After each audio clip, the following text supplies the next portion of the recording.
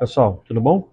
Então aqui, olha, feminização facial, 3 horas e meia de cirurgia, uma frontoplastia estendida, resultado lindo, a, testa muito redondinha, como a paciente queria, é, uma orbitoplastia bem grande, então você vê o olhar bem aberto, a órbita quase, quase você não, não, não percebe aqui, um lift de sobrancelhas, né?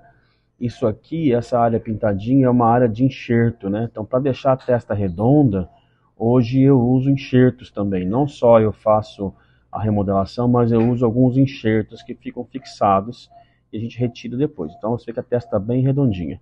E também uma mentoplastia. É, a paciente tinha um queixo muito quadrado.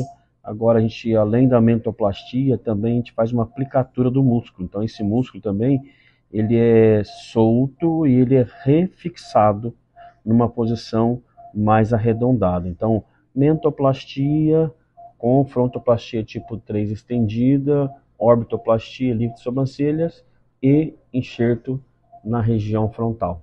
Tá bom, gente?